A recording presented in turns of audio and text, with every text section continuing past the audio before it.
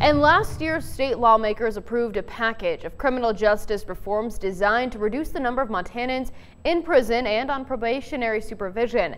But a key element of that package has come under fire, and MTN's Mike Dennison reports that state correction officials are responding with some changes to the program. It's called conditional discharge from supervision, when a criminal offender who's on probation and not in prison can put an end to when they have to report to a probation officer. Under the new law passed in 2017, state probation officers must recommend that any offender on probation and who meets certain requirements can end supervision 9 to 24 months after it began. A judge would then decide whether to approve the discharge. But as the program began, some judges and county prosecutors objected, saying the process needs more scrutiny. We heard concerns from county attorneys that, you know, they wanted to have more notice. And so we did pull back this process. In fact, some judges weren't even accepting these petitions at all. This week, the department announced it's updating how one applies for release from supervision. Once probation officers determine the offender has met the requirements, the offender must file the request in court, and county prosecutors are notified.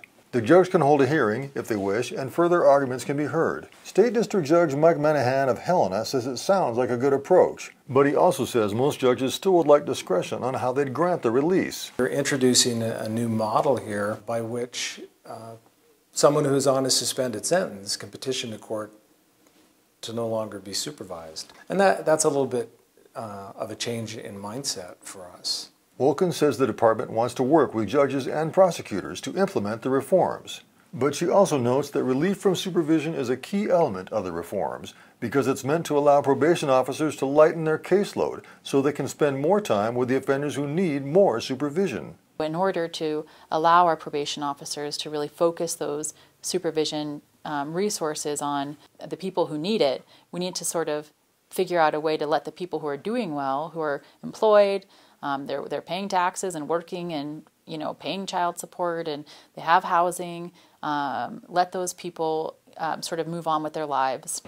The potential impact of the release from supervision program is not insignificant. The department says hundreds of offenders may become eligible in the coming months. Reporting from Helena, Mike Dennison, MTN News. And corrections leaders say probation officers will be reviewing potential applicants on a case by case basis.